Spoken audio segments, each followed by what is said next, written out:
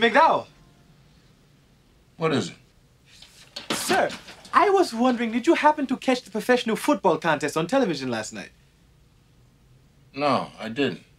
Oh, it was most exhilarating. The Giants of New York took on the Packers of Green Bay. And in the end, the Giants triumphed by kicking an oblong ball made of pigskin to a big H. It was a most ripping victory. Son, I'm just gonna tell you this one time. You wanna keep working here. Stay off the drugs.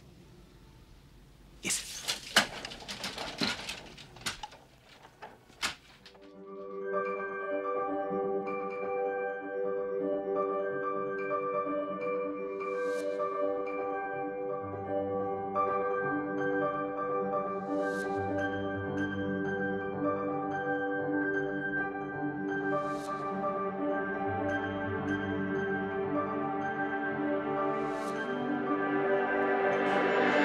Bye.